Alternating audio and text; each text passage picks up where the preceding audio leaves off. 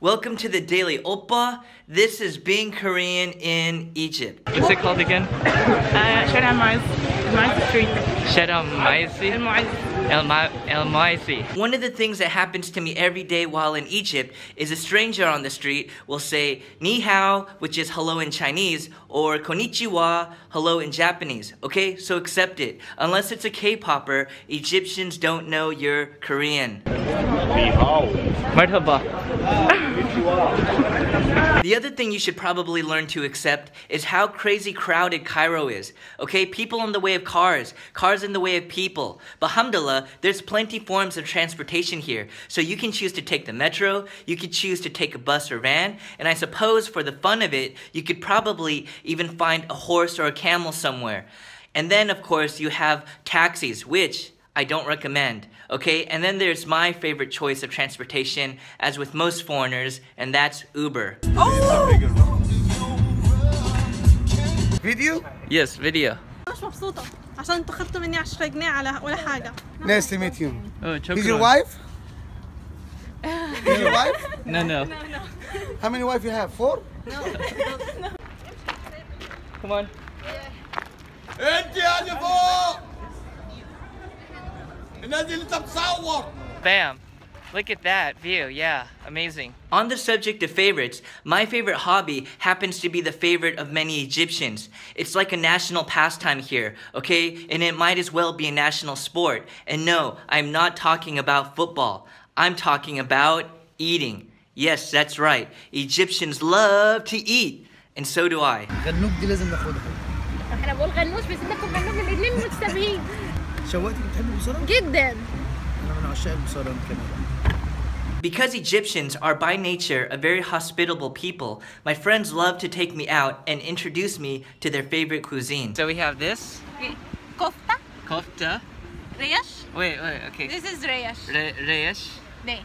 Bidinjan. Bidinjan. Mahallel. Mahallel. And then? Ors. Ors. Muammar. Muammar. Basara. Basara. Tahina. But my personal favorite is a sandwich here made of cow intestines. That's right, I said it. Cow intestines. Mmm, mmm, mmm. Fighting. Now, I don't know if most Egyptians like to try new foods, but my friends certainly do. So we've gone around town tasting different Korean restaurants.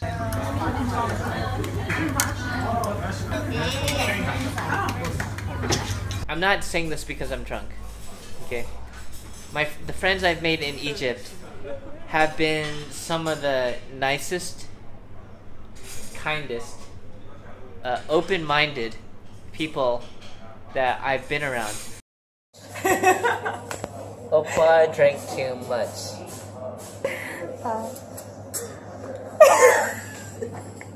Oppa drank too much. Yeah, okay. Wait. Uh, okay.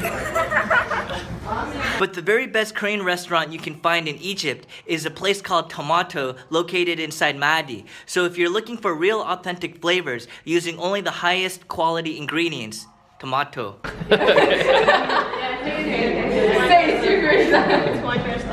Okay, go ahead. Try it. You first. Hold it, hold it. مش عايزة تطلع. That is so old. Oh, that is so old. How does it taste? It goes by luck. Sometimes you think uh, that. Mmm. It's really good, right? Mm -mm. Especially kimbap here. Because it's fresh, you know? Mm. This? No. No, no. So much.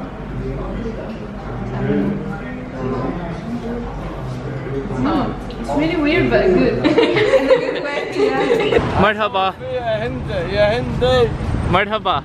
مرحبا بيك Okay.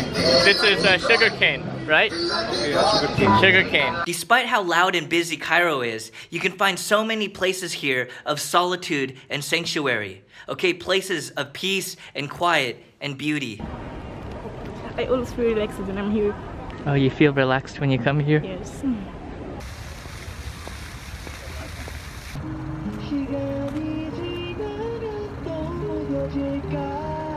Although I'm not a religious man, you can really find peace within all the craziness whenever you step inside of a mosque. Now, I must warn you about something here, okay? It's called Egyptian time. And it's basically when your friend says, Oppa, I'll see you in five minutes, and they show up two hours later. Why? Egyptian time. Why are you late?